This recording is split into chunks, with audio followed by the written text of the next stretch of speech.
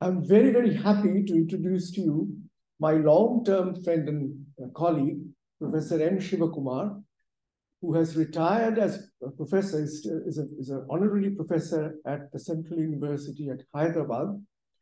Professor Sivakumar and I go back quite a long time. He was, in fact, a PhD, he, he did his PhD from the University of Madras under the tutelage of Professor P.M. Mathews, who is apparently not only well known as a particle physicist, he's also very well known as a, as a textbook writer in quantum mechanics, a textbook by Mathews and Venkatesan, which many of you must have seen. But today I learned from Sivakumar that Professor Mathews is now an expert on geomagnetism. He, in fact, has a theory of rotation of the Earth, which produces a magnetic field, which is observed, which agrees with observations. Professor Sivakumar and I met for the first time at the Institute of Mathematical Sciences, where he was a postdoc. His first postdoc was there. And after that, again, when he moved to the SN National Center for Basic Sciences as a postdoc. From 1990 onwards, Professor Sivakumar has been at the Central University of Hyderabad. And this in various stages from, I think he began as an assistant professor and then retired very recently as a professor in 2021. Professor Sivakumar is a representative of a not very popular area of work nowadays. It's the mathematical aspects of quantum field theory. That's his expertise. For some reason, this breed, to which I also belong in a little, in a small way, is almost dying out because uh, it is hard. And Professor Sivakumar's research activities, which is substantial, has centered around various formulations of quantum field theory and their applications to not only condensed matter problems, believe it or not, but also to astrophysics problems and black holes. So he has a wide repertoire of applications of quantum field theory to various branches of physics. This is his, his expertise. Now, ho however, the title of the talk today tells us, this is again something that I've learned today because we haven't seen each other for a long time, of his great and abiding interest in the education, in physics, higher, higher uh, education in physics, how to proceed. I mean, this is a subject which all of you would be keenly interested as professors, as teachers, as students, as postdocs, whatever your, your uh, current activity is, so without further ado, let me invite Professor M. Sivakumar to tell us about his views on higher education in physics.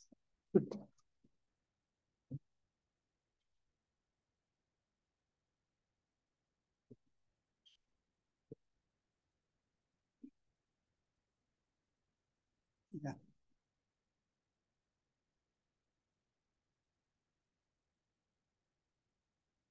Yeah.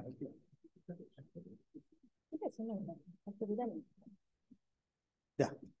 So this is the this is the And this was not designed.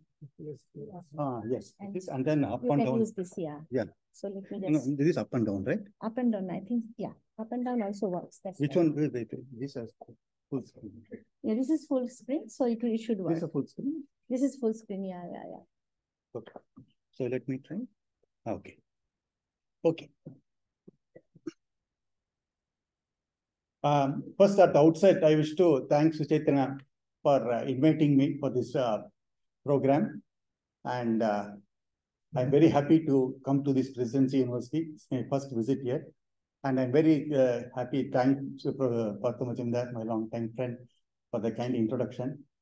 In fact, I started my postdoc here in Calcutta in uh, SN Bose National Center for Basic Sciences. I was the first, one of the first appointees, or first po- postdoc when it was in a small, uh, temporary building. Uh,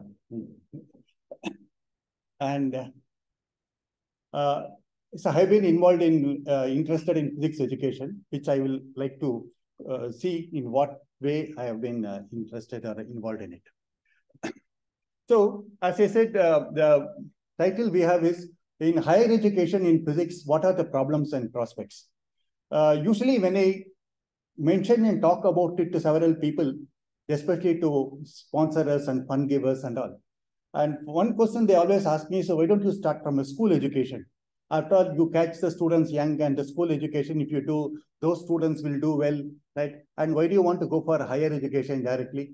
Because after all, school education is the basic things. If that is set right, everything else will set right. So to answer, to preempt such a question, my first talk will be, before I go for higher education, why didn't, I mean, why not a school education? Why don't we start with a school education?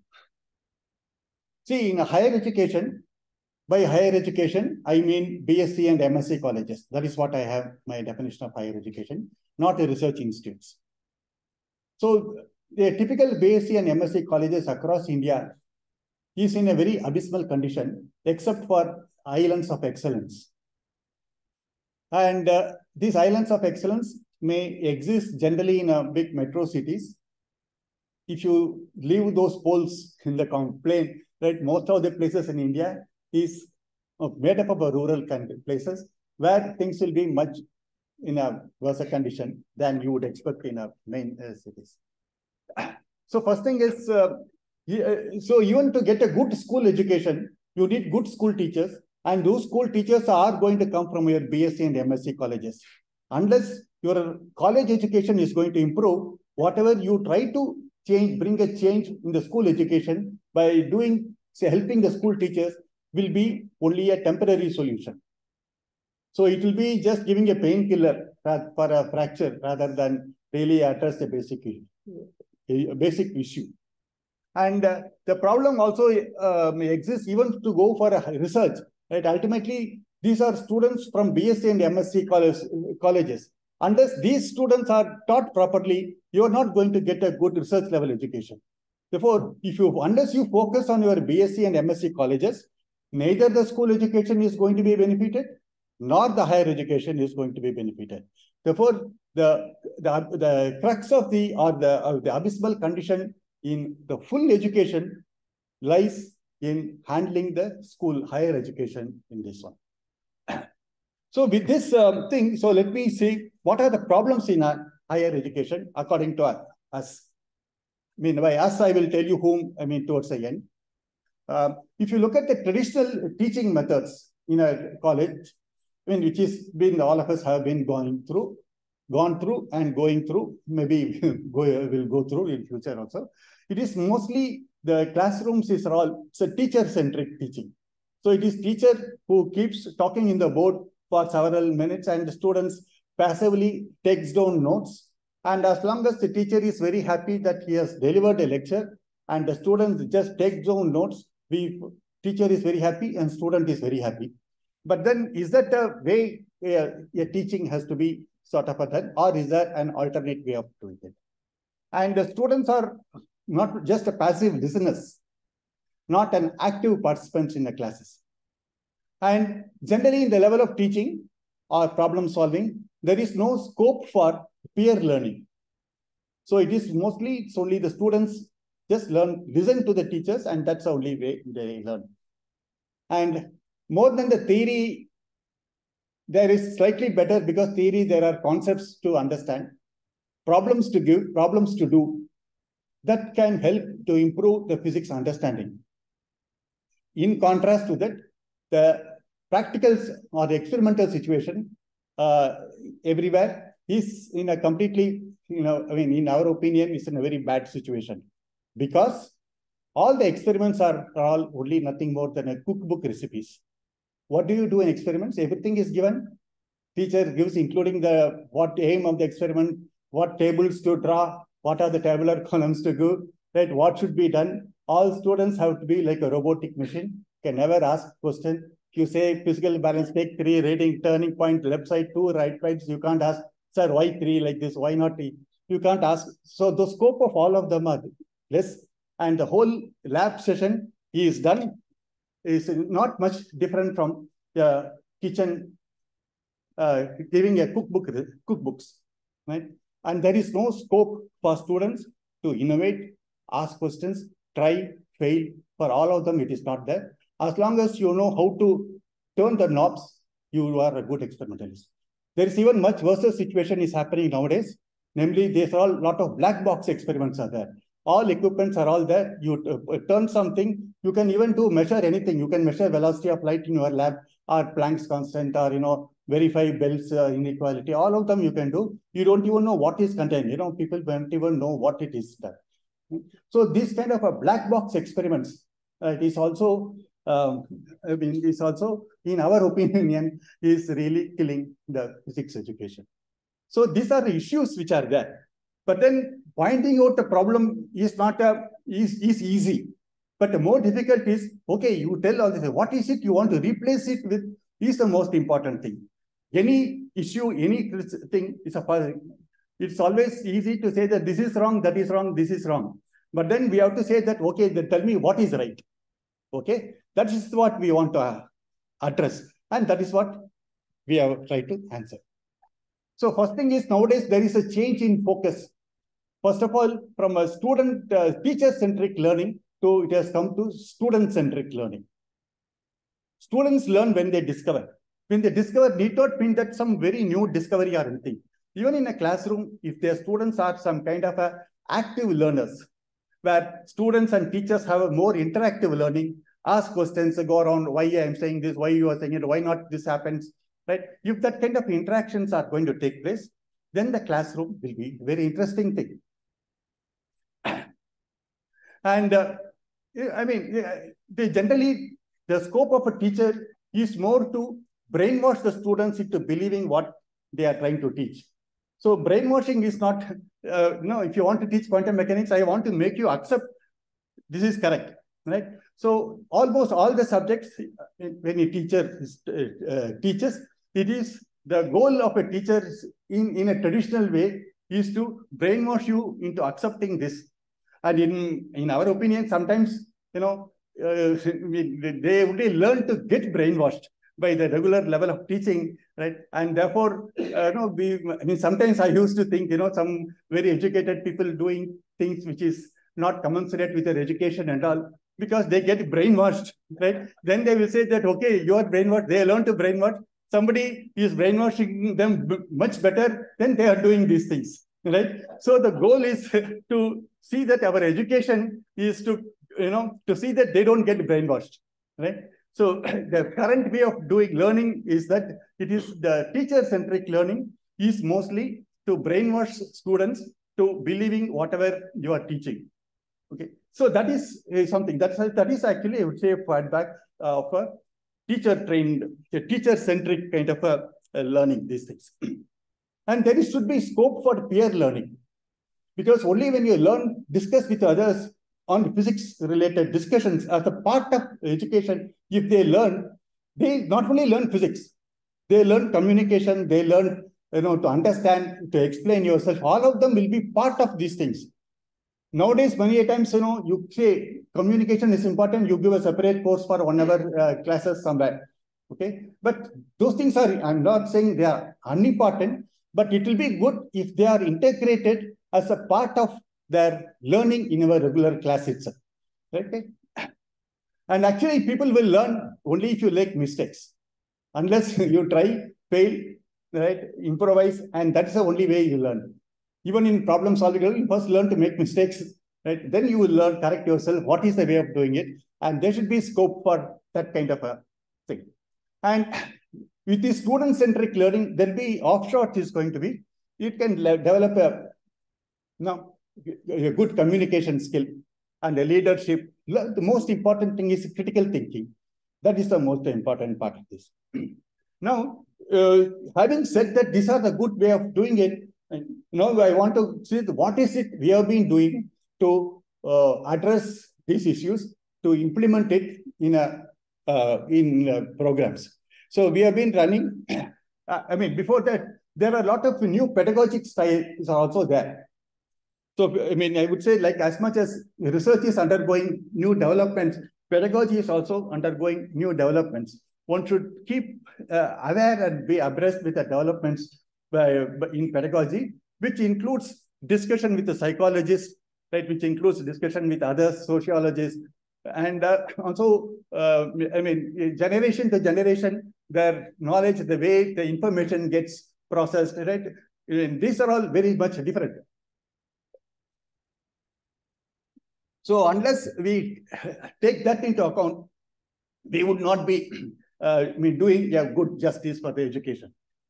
So there are some things called clicker, clicker questions, which are again gadgets are there. You can ask questions in a class and ask them how many of you agree with this, how many of you disagree with this, right? And uh, this is will be um, it, it will be anonymous. Therefore, students may not feel shy to say I agree or disagree, right? And that will uh, immediately you will get a completely data for this question, This many students have said this. Then you will know that students have not understood. Teacher can do the corrective measures on it. And another way will be to always have a Socratic type questioning in the class. Right? Every ask them why, why, why don't you believe? Why, why? And that question of why should come, that answering, and that is where the learning uh, has to be one. And the problem solving being the group, right? Instead of working it individually, right? If they work in a group and they discuss the problem and doing it, there'll be more peer learning will be there. And that is when they would really be sort of learn. Nowadays, there is something called a flipped classroom, which is again developed by uh, Harvard University. There's one physics uh, uh, optics person, uh, um, Mazur, I think. Ah, Eric Ma. Yeah, Eric Mazur. Yeah, yes. So he has developed, he has initiated this idea of a flipped classroom. So which means students will, I mean, they will learn some basically what is it I'm going to do. They will learn, and the teacher will be to learn, discuss only the nuances of that, and they will tell that, and one student can help the other, and the classroom will be only to handle that aspect of that. This again requires students to be more active and come in a proactive way, learn and come. That's a flip side of this. And also there are some ideas called uh, interactive simulations are there. This is to explain concepts. So this again is a Carl Wieman from uh, Colorado University as a thing. So these are all some ideas are there of uh, implementing these things. And uh, see, whatever it is, ultimately, uh, we have to adapt any of these new developments depending on the local needs. Having one size fits for all kind of a solution will not be a sustainable solution. Therefore, we, whatever one tastes and discusses, uh, we have to see that depending on the local class, local conditions, local management uh, rules and all of them, one should try to see how much one can try to uh, do that. So with these things, we have been uh, we have uh, been running a program which is called a physics training and talent search. Uh, it's in short form with PTTS. In mathematics, there is we in a program called a MTTS. It's called a mathematics training and talent search. Is there anybody who has Heard of MTTS? You heard? Yeah. So this has been running for the last 30 years. Um, I mean, the thing is that this is funded completely by the uh, government. Uh, DAE has a National Board of Higher Mathematics, right? They have been funding this program for the last 30 years. And they have been doing, they also try to uh, have some innovation in uh, teaching mathematics for the BSc and MSc level students. So some of us, we've been thinking and asking ourselves, why not have a similar program for physics also? So only thing we had was, this name was the first thing. We just said that we will start a program with PTTS, which is uh, completely borrowed from that. But then apart from that, we have I mean, no organic uh, relation connection between them because their program is different. And also we can't borrow because that subject is different. Right? Each subject, uh, what we have to innovate the, the problems and what should be replacing with, it should be looked at case by case. What we do for physics will not going to work for chemistry. What works for physics and chemistry will not work for biology and all. Therefore, we have to completely look at it by things. Therefore, we have ourselves, uh, I mean, evolved what are the ways and which we are also been practicing it. So, um, this program we have been running since 2015. So far, we have run about seven programs. The details of all the programs I will come uh, in a due course. But then our core ideology is to teach them learn to learn. So that is what we are more um, interested. It is not just so much of uh, teaching quantum mechanics or classical mechanics. The process of learning that we want to give that as equal importance as much as just teaching them a subject. Right? It is not just giving fishes, but teach them fishing is whatever broad the thing is. So our motto is learn to learn. And uh, the process we want to do is called active learning. So in fact, our uh, logo itself it says experience active learning. Um, By active learning is to oppose with a passive listening uh, than the students has. Therefore, we want to see the students are in a actively participate in the classroom. So how do we implement these things? That's a thing. Before that, the broad ideology of our program of this is uh, we want to say that whom to teach, what to teach, and how to teach. These are the three things. We've been basically running training programs. That's a thing. So for these training programs, what are the methodology and what we are doing? That's what I'll be doing in the rest of the talk. Okay. So here I've gone out of the broad philosophy to come to precisely what is it we are doing it in the ground level. Right. That is what I want to, I mean, what I'll be emphasizing on the rest of the talk. So the broad ideology is first whom to teach. At least we know for sure whom not to teach. We are not going to bother about teaching students from IIT, ISS, and all those places. Because anyhow, they are all getting a good teaching, good training and all. Our goal is to reach out to people who don't have an access for a good education. Therefore, we will go for places, not even in the metro cities, for people in the rural areas or you know places like that. We want to address to them. Because we believe that in every place, in a class of 50 students, there'll be one or two students who will be highly motivated, who may be I mean, in Nagapattinam or uh, some Sivakasi or some small place in that. And there will be one or two teachers who will be motivating them. Rest of the things may not be much be below the par in that. But these students also don't, right? They are all isolated. Same teachers are also isolated. We want to have a network of such people who are in smaller villages and smaller places. Right? And so that is what we are wanting for. Whom to teach, right? at least uh, that it should be aimed primarily for those people. Second is what to teach. Our goal is to teach, uh, lay the foundations quite strong. We don't want to teach them some very esoteric and advanced things, right? Uh, whatever be the latest development in that, when there even the basics are going to be very weak in that. Therefore, what we teach is whatever they are expected to learn in the regular curriculum, the same subject only we will teach. We are not going to teach any advanced topics at all. When we say typical coursework, if I take a BSc second year students, we teach them waves and oscillations or quantum theory or you know mechanics and subjects of that, whatever they are I mean going to do that. Third is how to teach.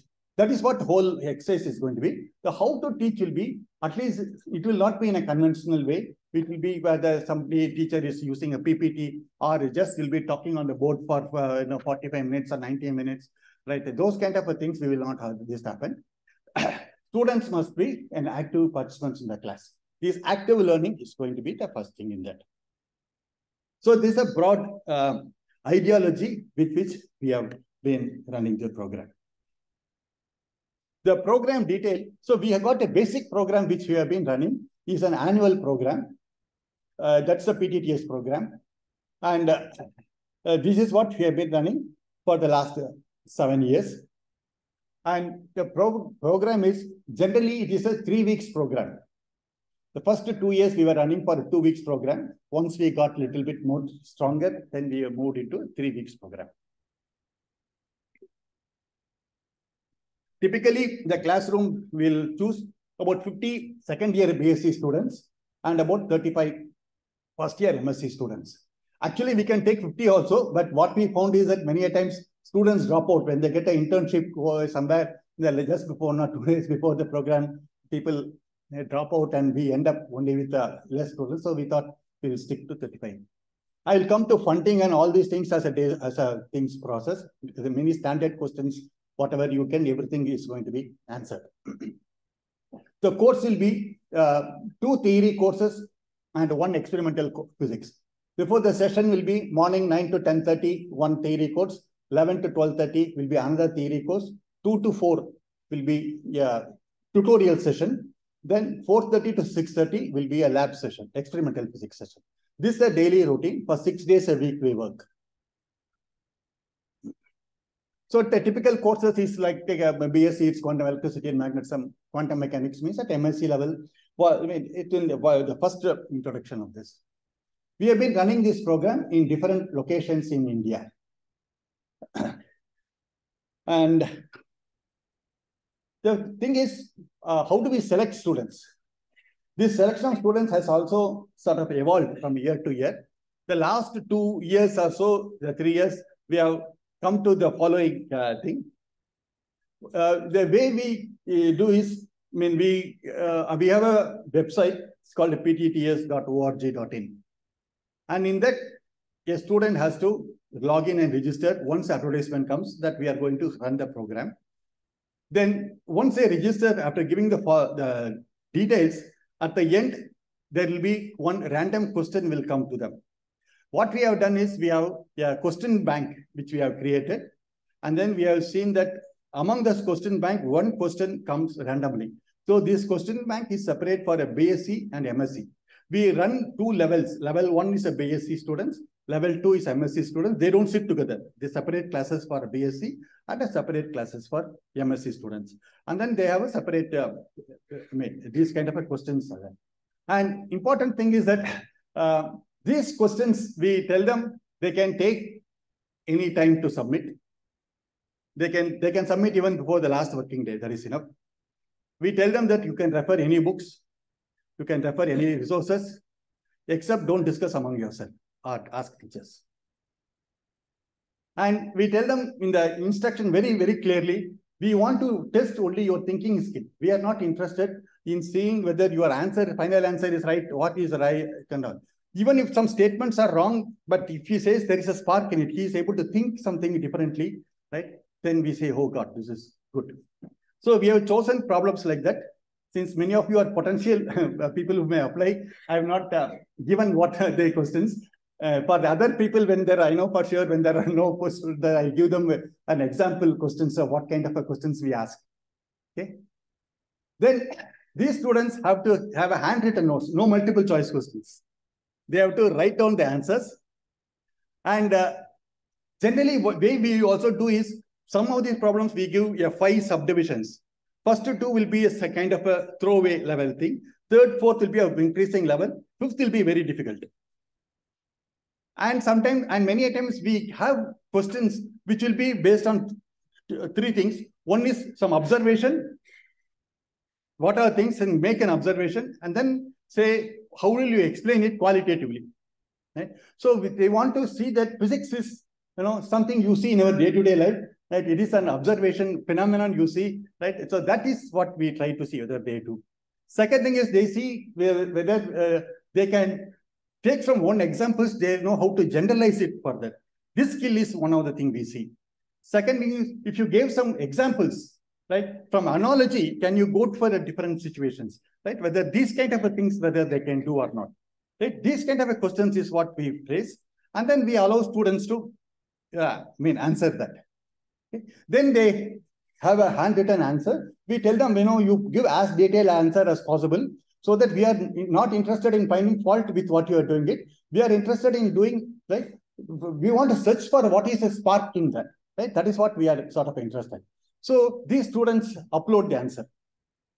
So last two years and all, we've been getting about 900 papers, okay?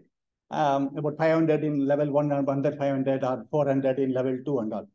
We organizers, three of us, we sit down and we ev evaluate each of these papers. Only one person, we evaluate these papers and give marks for these students. Okay? That is one work. And then we give marks out of five. So see, actually sample question, I have removed it only here. For the others, I used to keep. Okay. Then what do we do with that? With uh, we evaluate the marks, we tabulate all the marks. Then yeah, okay, marks out of three, out of five. Then we take only, we look at only students who are getting more than three and above. One and two means we completely, we don't even look at that. They are completely neglected. Then out of three, we, we make it a point to see that um, among the applicants, we make it a note from which institution they are coming from. BSc from a college, where that college is located. If the college is located in Pune or Calcutta or Chennai, they are classified as urban. And if they are not in some Tenkasi or some place like that, right, or Nasik or some place like that, we say this is going to be in urban. So we have for every state, we have some classification of three or four as a metro and other as an urban. So we classify that, then we select people from Then we see to it that among the total applications, among the selected people, 50%, roughly 50% are from urban background. That is, the colleges I mean, uh, resides in an area which is not in a metro city or not in an urban city. Okay, that is the first criteria. Second criterion is 50% are women. That is our second thing. 50% are going to be a women candidate. Third is we see that there are representation from all states. So whichever state, then we first look at application by state-wise in Excel sheet we divide. Then from each state, some representation is there. Otherwise, Calcutta will everyone will come from West Bengal only. See, we are not, as I said, our goal is not to check for the top five people. That's we, we, we don't want to do that. It will be very easy job to say that take the top 35 or top 50 people and then select them.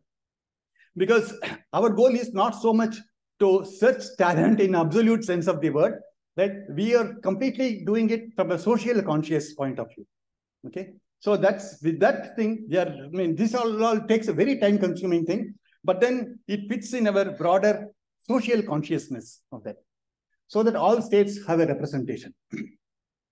Actually, sometimes what we do is if um, you know, yeah, if you find a very good woman candidate, if it is from a smaller institution, here BSc students and all, in the earlier days, we found that sometimes students, parents are not willing to send the girl to a longer period for a three weeks, right, which is far away, and many of them they would not have even left their home, right, for more than a week and all. So what sometimes if I see some good candidate and all, right, then we should not lose such a good candidate. So what we'll do is, if it is possible, we'll try to accommodate one more student from the same college so that parents will be inclined to send both of them together, right? They'll say, okay, somebody said you are also going, okay, we will send. So we take care of parents' psychology also when we do these things.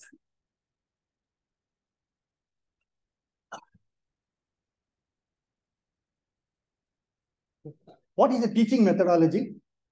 First thing is, I mean, we have actually prepared, we have kind of guidelines for, uh, you know, for teachers going to teach um, PTTS program. So guidelines for resource persons we have prepared.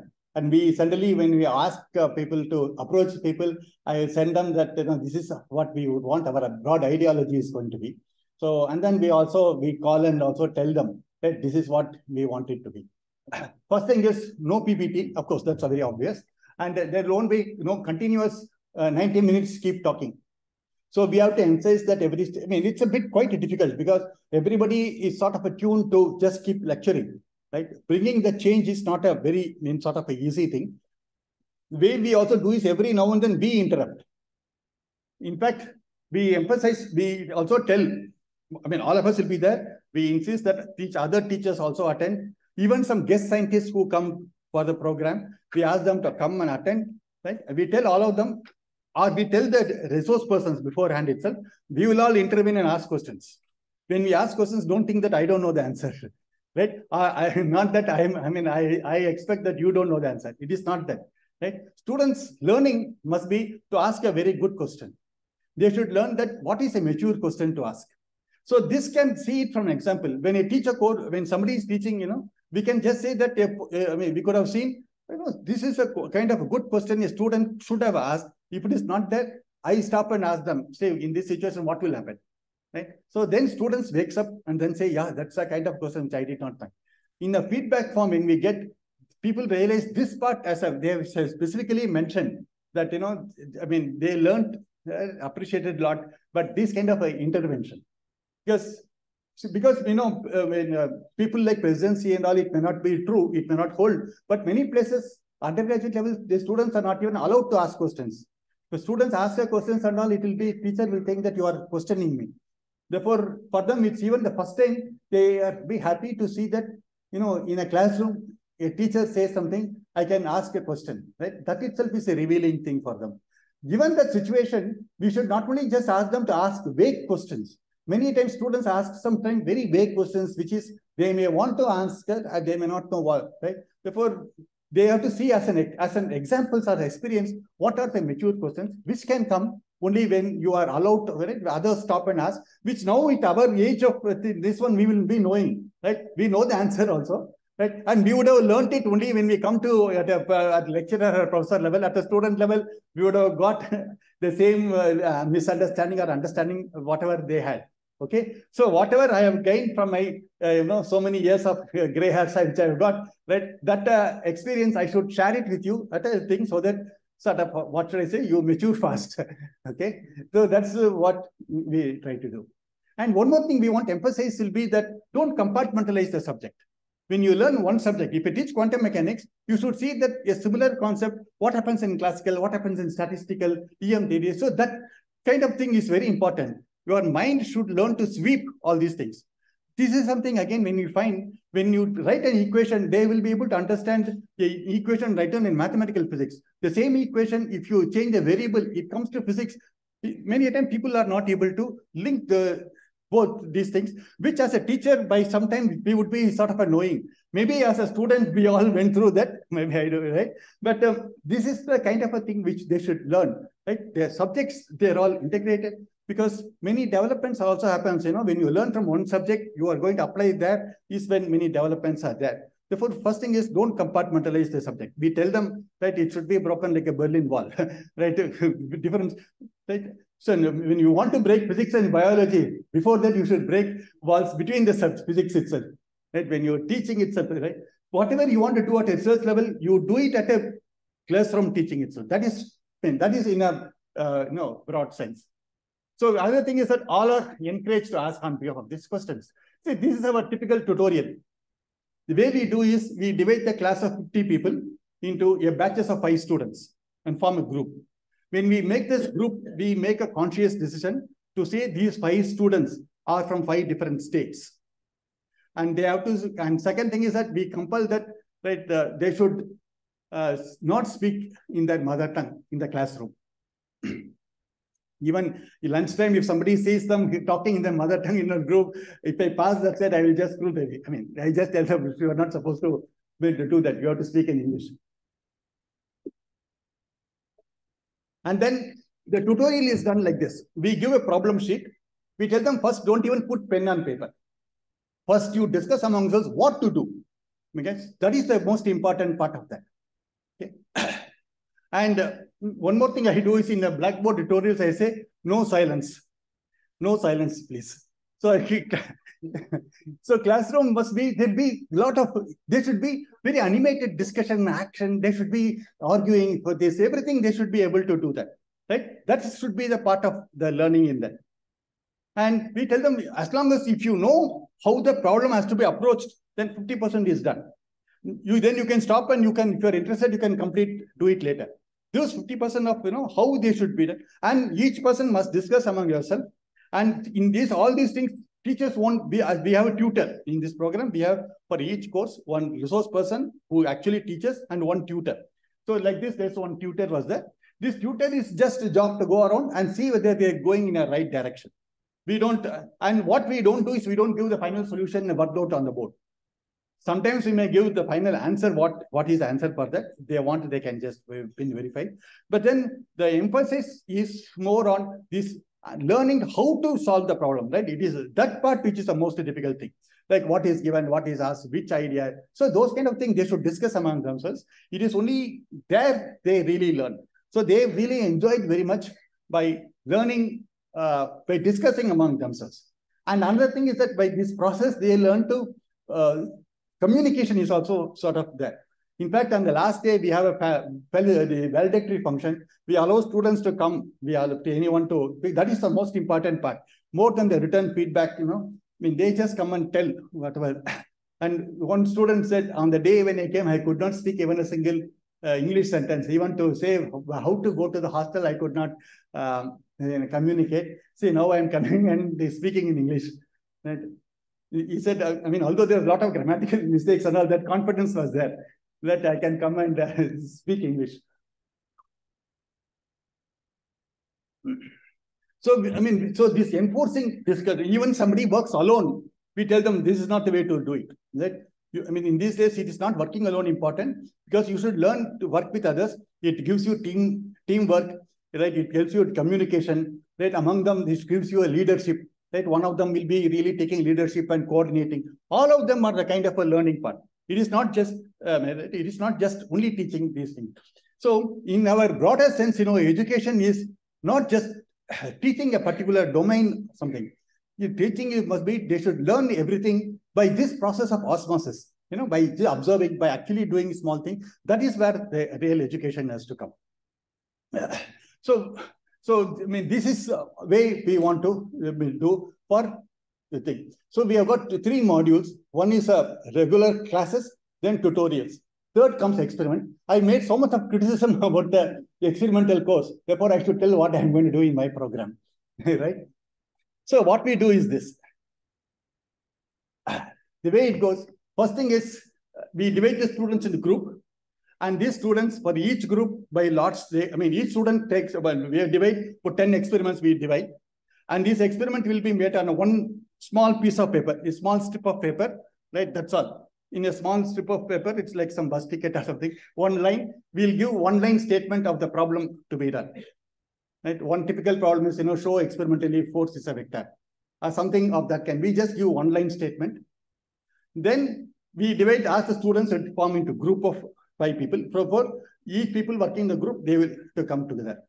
Second thing is that these students, we tell them they have to tell us how they are going to do that experiment. So that part is a thing. second, third part is they should, we are not going to give them when anything, whatever they want, nothing, they tell them, and you know, you should tell what is it you need. You should tell what is the equipment you need. We tell them whatever you want, I will take you to the market that you can buy and thing.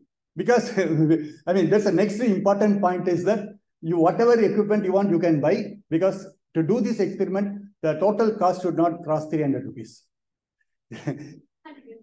yeah, oh, maybe it's a old one. It's inflation.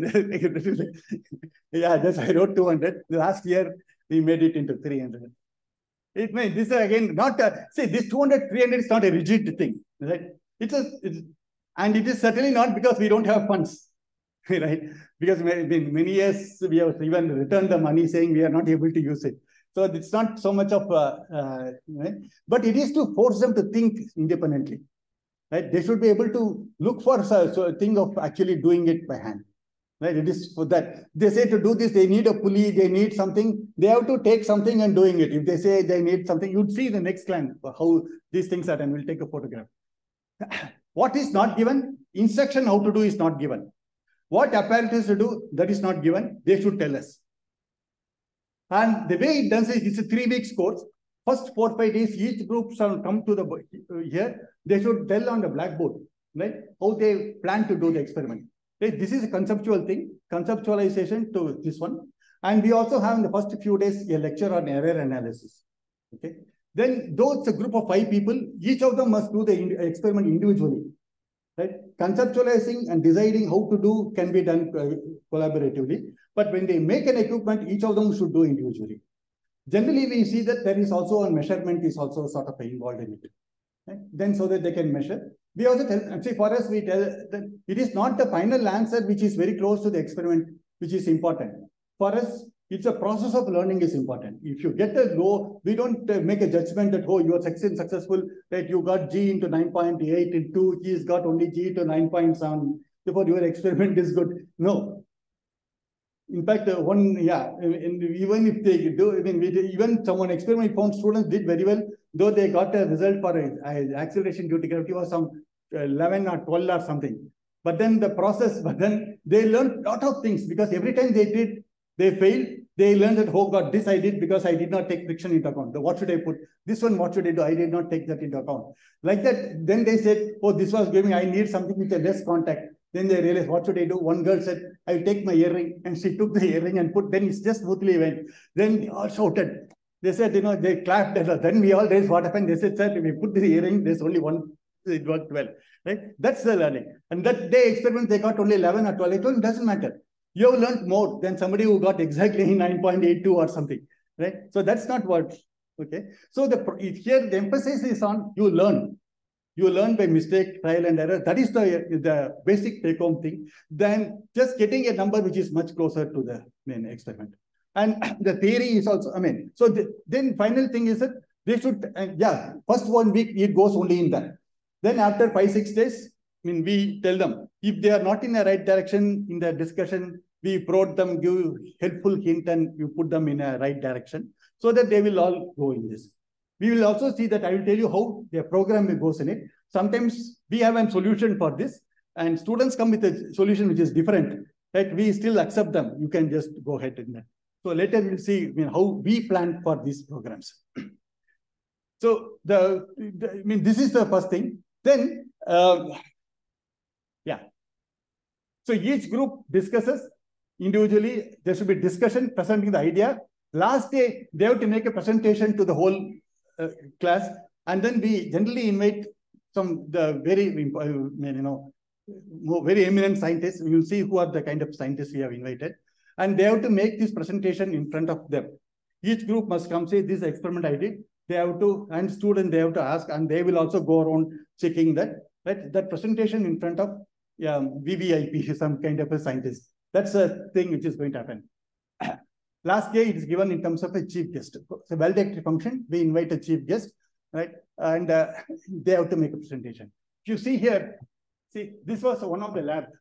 We just took an empty room, right? We just hired and get some chair. And this was in 2015, we did not get. This was one of the most uh, very successful thing where nothing was there.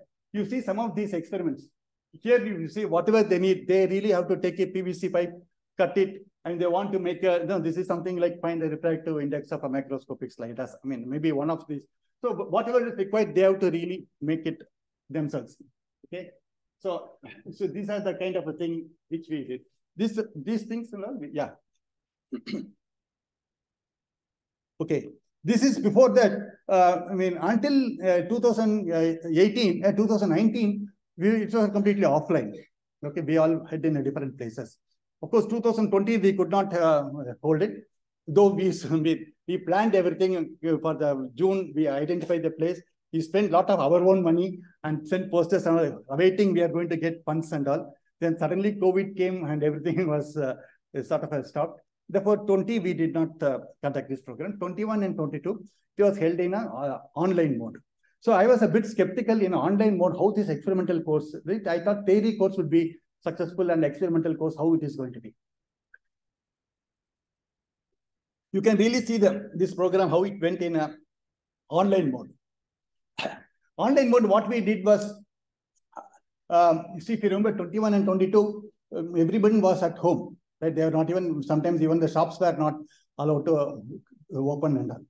So what we did was, for everyone to the residence address, we sent one multimeter, one toolkit, basic toolkit involving spanner and things, screwdriver and things like that. That was sent to the resident before the start of the program, or before the start of the actual experiments. Then, then we chose experiments such that it didn't require a major facility. Generally, also we see it doesn't require some major sodium vapor lamp or something like that. So, I mean, we are that at least BSc level, we are very particular about it. At MSc level, sometimes we may not be so uh, think we may depend on. Uh, but when you do for online, we saw to it that nothing of those kind of a thing was not done.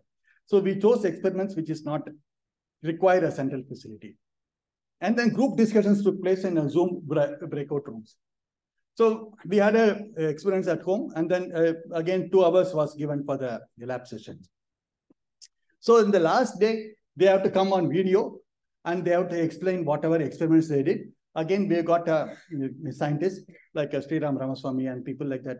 They all came, uh, you know, and then they have to uh, show what is experiment given, what was the thing they did. So I've just taken some images of some experiments, which is all done. This is all done at home. It is not so much the experiment part, but you can really see that, you know, they could really take anything at home and they could be able to do it right? which was again, just ideas were given.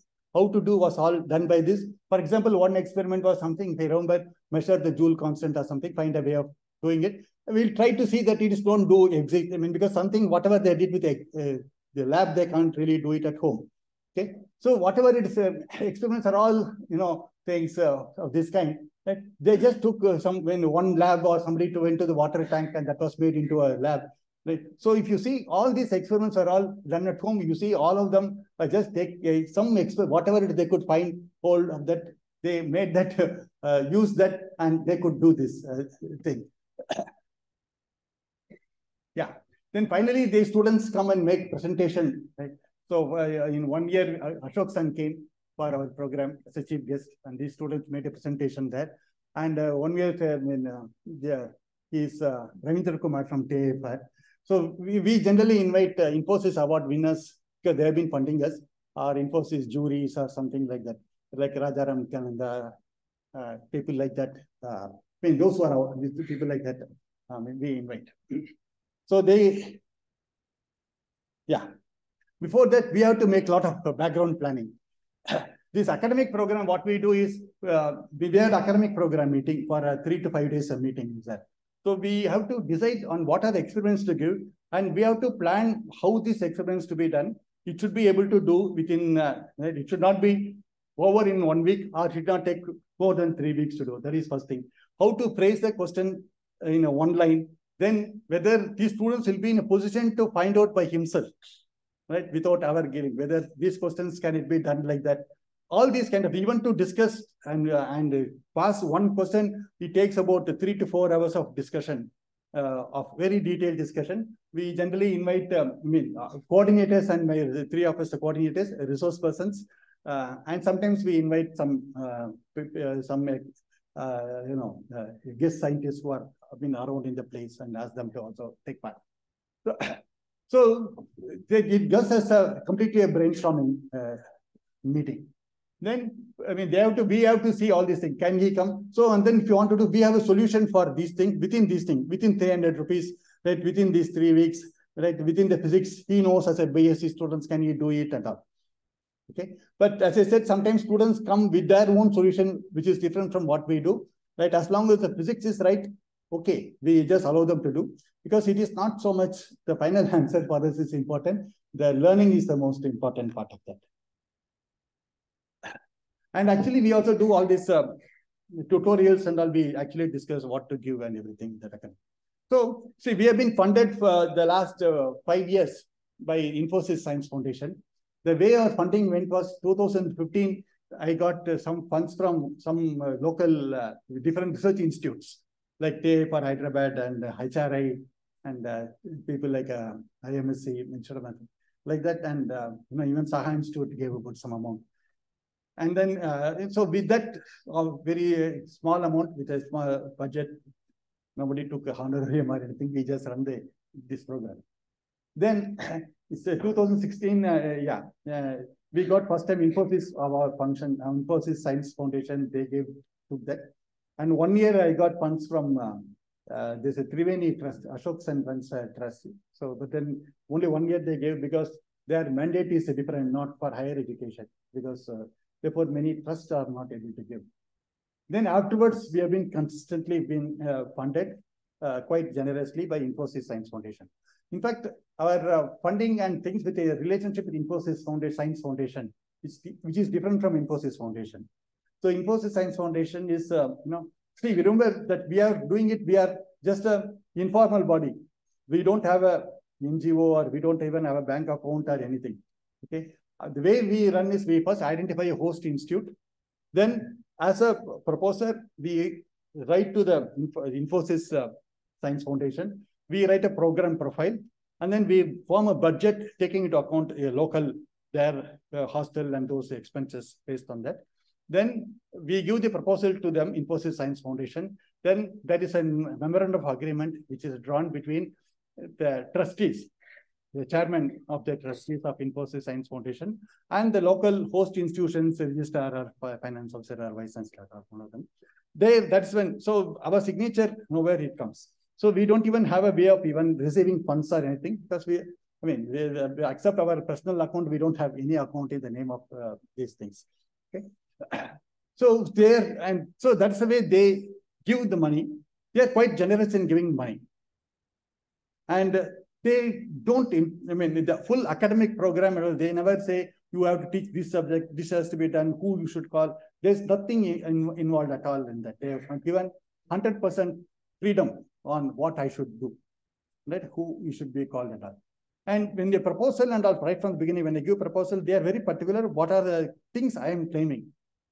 Okay, that they want to see whether how much you are achieved. And that's, uh, I mean, it's not interested in having an anecdotal uh, information. They want everything to be what they call as a metric, right? A measurable metric must be there.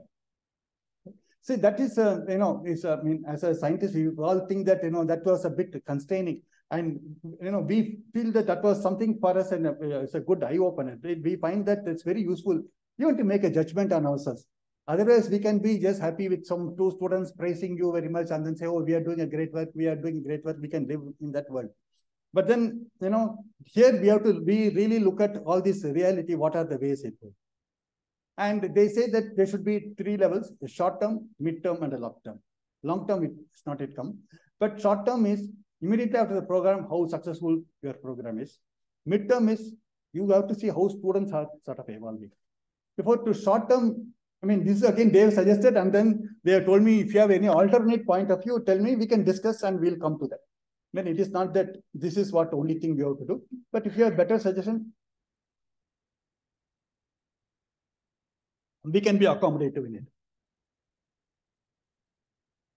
Therefore, one thing we have we've been doing is have something called a pre and post PTTS question, which is when they enter, we just ask some question, which is a domain based, subject based, whatever their prerequisites are there, some questions. And the questions we ask is post PTTS after this program, a so, and if the program is good, the post must be better than the pre. In their corporate language, it is a baseline score. The baseline score, right? Based on it, how the post uh, things must be doing well.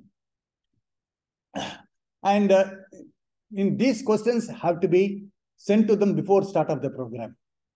And they said they will share this with any experts, anyone they want, and seek their opinion about the quality of the questions and all. Last, and then actually they did that. I was, uh, I mean, last year they sent this to people like Rajaram Nityananda and Spenta Wadia and people like that. They have got, uh, they have sent and uh, they asked their opinion about everything. and sometimes the post PTS also comes down because for us also it's a learning thing, what to ask. Sometimes we plan that, uh, you know, we'll ask some topic because of our way of doing it, we may not be able to do it. We'll be doing it on the last day. They don't have time for students to understand. them. So these kind of every time we learn something, we try to sometimes the post PD is less than pre. We try to understand what is it, is it type of problem with the questions, the teaching, whatever it is. Do we try to understand what are the corrective measures have to be taken in that? And these answers are evaluated by the uh, teacher who, uh, who taught the program. These questions are also discussed along with them. And we should realize that the problems, the questions we ask are all quite unconventional compared with the way when sort of it is traditionally when it is done. Okay. I mean, uh, perhaps privately, I, mean, I can tell you some examples of that. Um, you know, see what usually what we try to do is you try to invert the question and answer. You know, usually the people will say that, I mean, for example, in quantum mechanics, you will say that you're given a given a wave function, you ask what is the probability of some particular eigenvalue is coming. So we try to invert. You construct, I want this one. You can construct a wave function which is going to give me this result. Then you ask the question, is it a, uh, you know, a unique, right? I mean, like that, we try to sort of know so that, you know, they try to think and they get an answer for that. One typical question is, you know, you mean, you know, you give the matrix, ask them to find eigenvalue. That is a traditional thing. We tell them that, you know, I need a matrix with a given eigenvalue, right? You first construct a matrix. Then when we do that, in fact, this experiment I did in um, this problem I gave in a quantum mechanics course in a workshop for a small workshop conducted in Madurai. The students, uh, it's only for Tamil Nadu based students. The students' whole class was very excited because then they went out and product and they are trying different things, right? I mean, uh, it took some time to for realize that you know most direct answer what they can give right? These are giving direct answer. And then they, what they found is that they, one student could, you know, construct a non-Hermitian matrix which gives a real eigenvalue. Shush. Yeah, yeah, yeah, yeah, yeah. See, please stop me. Yeah, yeah. So this is the last. Yeah. In fact, I want to. So this assignment I have to do every. Uh, you know, this is a kind of a Excel sheet I have to send to thing. I have to follow every student from 2015 onwards to 2022 right? I have a, Excel sheet of every student, what they are doing it, where they were when they started the program, where they are now, right? What are the marks they got? Like that, this has to be uh, submitted every year. And only if I submit and based on their satisfaction is what we will be going for the uh, next year. Okay. See, apart from this, we have been, the last two slides are there. So apart from this, we have been doing other program. This is a basic program. Okay. First thing is we have been, we had a program uh, for a two-day workshop for experimental physics. You know, the way we have been doing it, we invited all the experimental teachers from different places, right? And we just sat down, we took, each of us took one subject. We just devised experiments which can be given here. Like they have to just say this experiment which can be done. So five days, no. So th that's uh, one thing. So that that was very helpful because we got uh, good resource persons we could get from this. Second, right? We have been running yeah, last uh, recently. We have been running a five-day program which caters only for the local region. This has been very successful because uh, you know not many people can come to the main program. So so this is uh, again a scope for us to sort of do that. And See, this again, I don't know how many of you know, his name is Carl Wieman. He got a Nobel Prize in physics. And he, after his Nobel Prize work, he has been doing a lot of physics education activity. He has popularized the word active learning, which actually when we did, we did not actually know that. Now we have really given, uh, uh, uh, see what he did at all. So once I approached him, I wrote him saying that I've been doing in this program these things. Can you help me to conduct a workshop? And actually, we had an online workshop with two of his uh, close associates were the resource persons. And this is his talk. He came for the welcome address. He was there. And uh, so this is again, uh, we, we had collaboration with, so we are still in touch with him. I mean, how to sort of implement these things. And the last uh, year, we have started one new thing for teachers. We have started in this um, uh, January, a few months back, uh, in collaboration with ICTS. I had a program which is called PTTP, Physics Training physics teachers training program. That's our first program. We just took uh, uh, college students, teachers, MSc teachers who've been teaching quantum mechanics. Right, only that subject. We took about 25 teachers uh, across India. And uh, there again, we got a very innovative things are there. One is we got a project-based learning. I mean, apart from a traditional way of teaching and all, we took on American Journal of Physics type, I mean, American Journal of Physics articles, which is again at a MSc first semester courses, first few chapters of quantum mechanics. Only with that knowledge, we just read the abstract and made that into a kind of a project. We uh, divided the students into groups and asked the teachers to, I mean, do those uh, things. And that has been a very, very successful uh, thing. We also had something on how to have a visual quantum mechanics and all, which they can do. So this again, it's a new thing which we feel that uh, there's a lot of scope for us to really do as I said, our basic uh, thing will be to contribution to the society is, you know, we use completely we do for women empowerment. And as I said, 50% of the seats we take uh, see that the last uh, year onwards, we have introduced one more thing. We found that many women going from MSc to PhD is less compared with men. So we thought possibly it is because they get married and they are not coming to the society. I mean, so what we have done is about five seats, extra numeric seats we have reserved for women who had a break in career due to family reasons. So we are we asked them to just uh, we took them, and in fact one of them is so successful now. He says he's doing in IISER Kolkata, doing a very successful project with uh, with someone uh, with Kaushik Dattal. So she is, uh, I mean, so this kind of a yes uh, thing is also been, and of course rural development. Uh, see, one more thing is what we want to emphasize is what we are interested is not a student really go from a student from a college goes to Princeton or Harvard and all. That's not what we are aiming at. We want to see there is an upward academic mobility is there. So we'll be very happy, we generally be very happy. Something which we always tell the funding agency, right? I mean, you just see how much is a upward social academic mobility is there. Somebody from a small college in a rural place, if he comes to city to do MSc, then we feel we are happy somebody doing an MSc in a college, if he goes to one of the research institute, then we are happy, right? That is what we have to sort of aim to do, right? Not just to see that, you know, we can, see, we are not having a magic wand, you touch something, they immediately going to uh, become a great thing, right? I mean, this is a kind of a slow process if we, they do it. So, I mean, we feel in the larger sense, this parameter of looking at upward social mobility is a better way of uh, judging or, you know, doing that rather than, you know, going, everybody going to IITs or some places and all, maybe many suicides and all has this things can be the reason. Okay. We have, have difficulty uh, how to introduce active learning, syllabus completion and all will be a problem. We, we don't know how to do that. There's also laboratory course, how to implement in this is also a open uh, challenge, how to do that. Maybe we have to give scope at least for students to come out with a conceptualizing that. Even if they don't do that, there should be given scope for it so that they should learn physics is designing the experiment rather than actually turning the knobs. And how we can make the evaluation something more challenging, right? There, I mean, I have a lot of ideas because that is also something which one can make this physics be more sort of exciting. So we have been, see, so far we have been doing it completely as an informal body. So we have been planning, we are in the process of uh, forming a company. Uh, so that's something we are going to do. So we want to promote new and more than the education research. And main thing is that we want to have a network of like-minded teachers. So these are my uh, collaborators. Apart from me, is Raghavan Rangarajan. Many people know he works in astroparticle physics. He's now in Ahmedabad University. Other is SVM Satyanarayana. He is now in uh, Kolkata. He is now in Pondicherry University.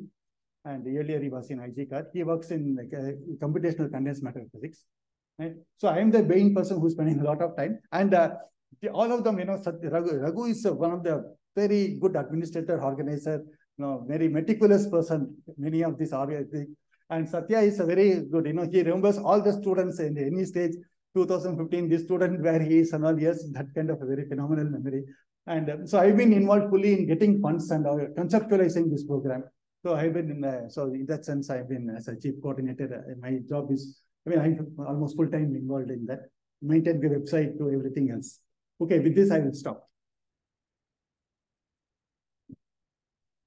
So thank you, Professor Sivakumar. I think we are running a little bit uh, late. So now we should start the panel discussion. And as we heard in the talk that we want to make learning or any conversation, uh, it has to be very active. So we don't want uh, to sit for hours and keep listening to other people. Rather, it should be interactive. So for that, uh, I may I, uh, so maybe we should need, Acha, what do we do? Should we put the chairs? here we can- we can do that? So we can put two more chairs We can do put two more chairs there, so let's put two more chairs quickly.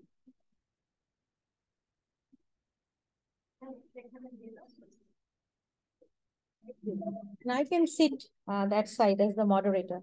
So uh, let me stop. So So uh, now we should start the panel discussion. So initially, I'll just ask the panelists uh, to share their views and then we'll open the floor for questions because it has to be interactive. We want to hear from the youngsters what they're thinking. And the topic of uh, today's discussion is the changing pace of higher education in India. So may I request uh, our Professor Sivakumar to take the seat on stage. We have with us Professor Parthasarathi Majumdar. Uh, we have with us Professor Raka Das Gupta from Calcutta University and uh, Professor Suparna Raichaudhuri from St. Xavier's College and Professor Partha Ghosh from Bangabasi College. So I, as far, I should not be saying this, but as far, uh, I have, I think, thought of panelists in mind who I know are fantastic teachers and are immensely popular among the students. So please welcome our panelists and uh, now uh, we will, I will, so I, I will be moderating the program and maybe just, if you give me a few minutes, I'll just stop the, uh, the thing.